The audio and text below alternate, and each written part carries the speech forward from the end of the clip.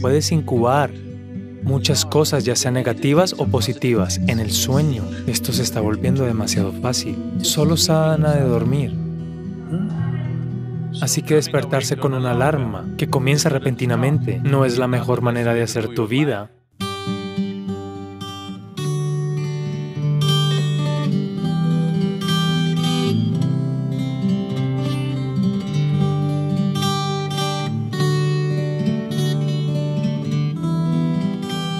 ¿Cuántos de ustedes han experimentado que un día por la mañana cuando se levantan sin ninguna razón, se sienten desagradables sin motivo alguno? Si está sucediendo incluso por lo menos dos o tres veces al año. Si es así, debes hacer ciertas cosas antes de irte a la cama. Es muy, muy importante. Porque inconscientemente necesitas entender esto. Puedes incubar muchas cosas, ya sean negativas o positivas, en el sueño, ya sea placidez o desagrado, puedes incubar muy eficazmente sin interrupciones durante el sueño. También se puede incubar durante el día, pero hay tantas interrupciones, no sucede muy eficientemente. Pero, si tienes una tendencia a ir a la cama, de cierta manera y te despiertas por la mañana, realmente desagradable, simplemente por ninguna razón, eso significa que estás incubando cosas por la noche muy eficientemente. Huevos podridos. Esto no se trata solo de trastornos psicológicos, puede causar problemas fisiológicos mayores tras un periodo de tiempo. Es importante que elimines estas cosas de tu vida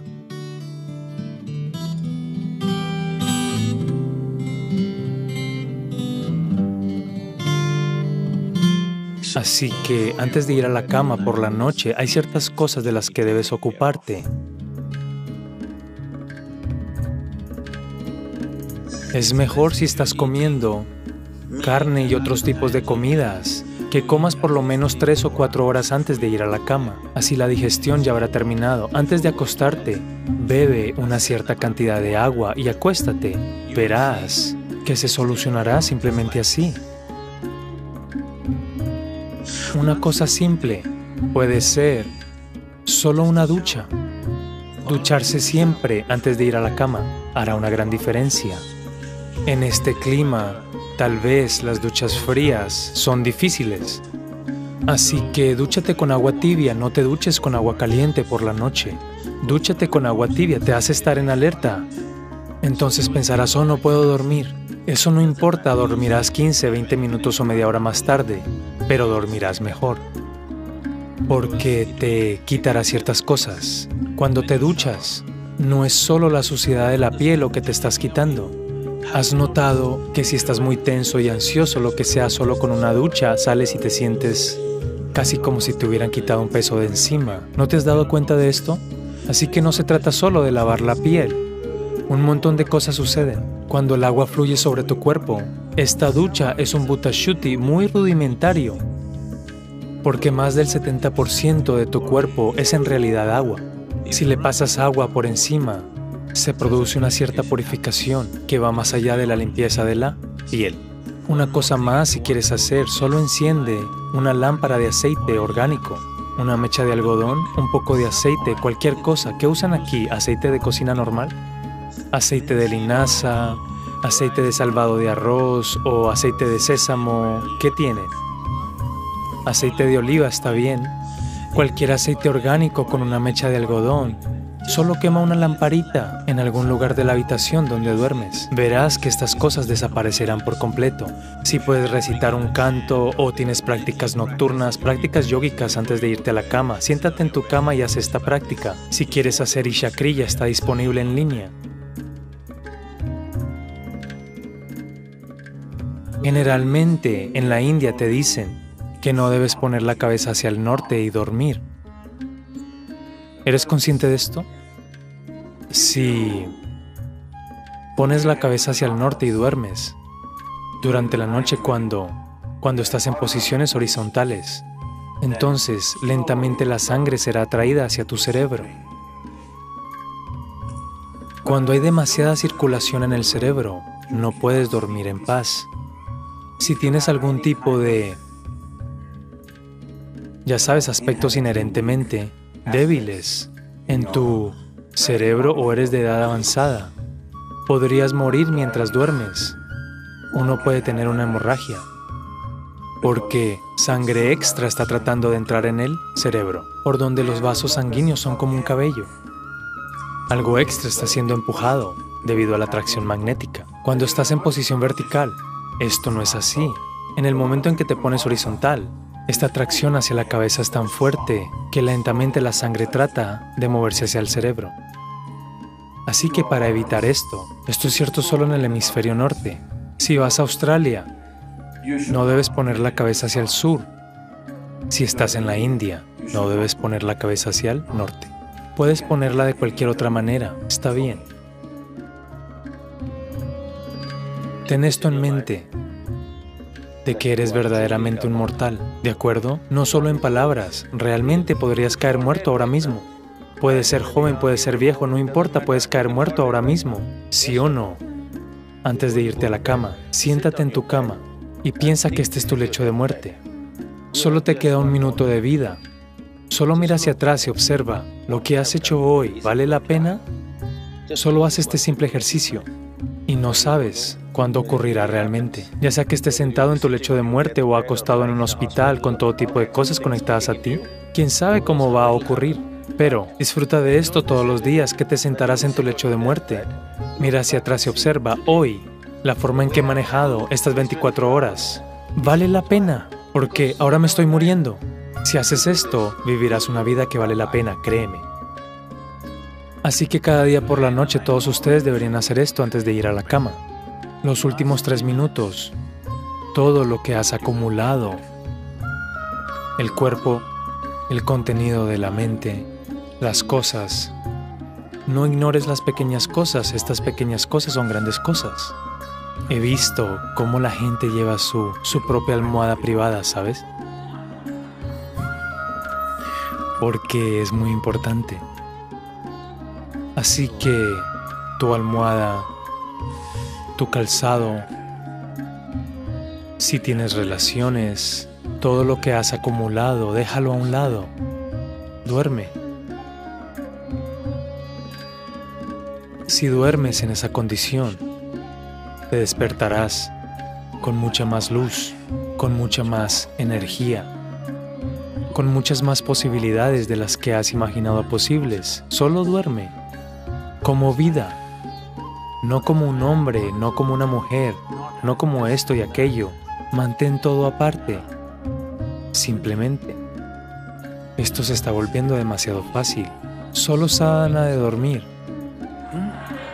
Al menos esto debes hacer.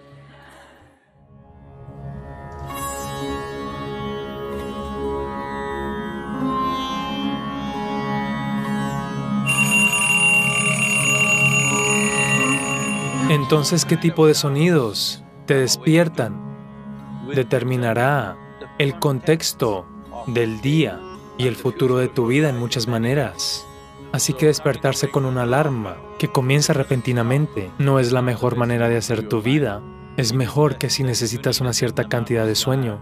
Si tu cuerpo ahora mismo, debido al tipo de comida que consumes y el tipo de pensamientos y emociones que procesas dentro de ti mismo, acorde a eso, y el nivel de vibración que has manejado dentro de tu cuerpo determinará la cantidad de sueño que necesitas. Digamos que necesitas tres, lo siento. Digamos que necesitas 8 o 12 horas de sueño. Estaba diciendo el número equivocado. Cualquiera que sea la cantidad de sueño que necesites, tú sabes cuánto necesitas. Así que te vas a la cama suficientemente temprano para despertarte naturalmente, si te estás despertando naturalmente. Y supongamos que tienes una duda de si vas a despertar o no. Si tienes un cierto canto, si has identificado uno de los cantos Vairiaga, puedes usarlo.